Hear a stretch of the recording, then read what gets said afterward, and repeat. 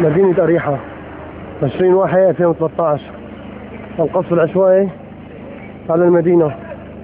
الله أكبر مع وقوع إصابات في المدينة. الله أكبر. مدينة أريحة. 20 واحد 2013 الله أكبر.